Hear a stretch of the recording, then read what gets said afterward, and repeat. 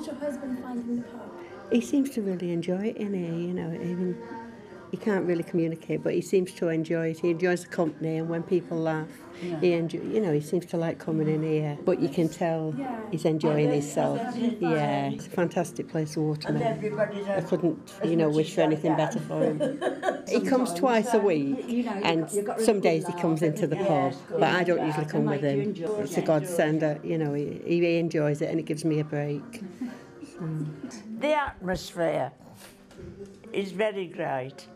You can bring them here and not feel, oh, um, oh, mind. Uh, we usually, when we take our friends out anyway, we say, now mind what you say. but, um, you know, here you think, oh, oh, it won't matter what I say.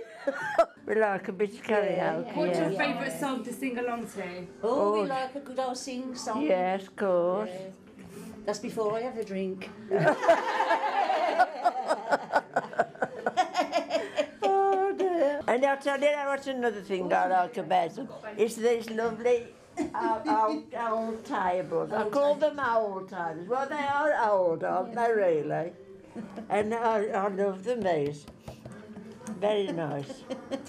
And what do you like most about the pub here?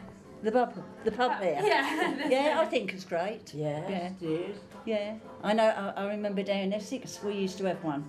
You know, big one on the corner.